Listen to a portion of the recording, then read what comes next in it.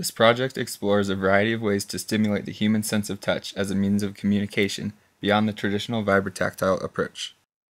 In seeking to create sensations that are natural and intuitive to interpret, we designed four actuators to simulate some form of physical contact experienced in everyday human interactions, including tapping, dragging, squeezing, and twisting.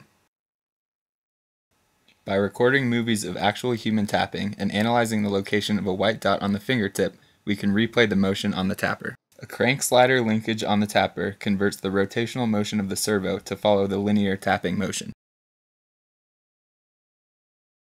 A similar video analysis in 2 degrees of freedom allows replaying of a human finger dragging across a wrist with the dragger.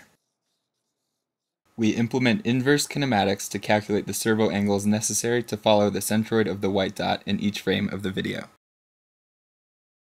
The two servos mounted in series enable the contacting tip to follow any two-dimensional trajectory within its workspace, including tapping sequentially across a wrist.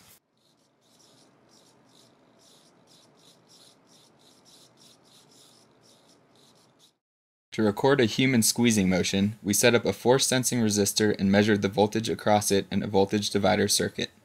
The squeezer then replays this motion by contracting and extending a fixed length wristband with a servo.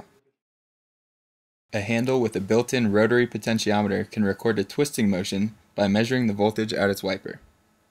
We then scale these readings onto the range of motion of the twister, which uses two oppositely oriented servos to stretch the user's skin from side to side. A layer of high friction foam sewn into the strap of the twister ensures that it does not slip across the user's wrist.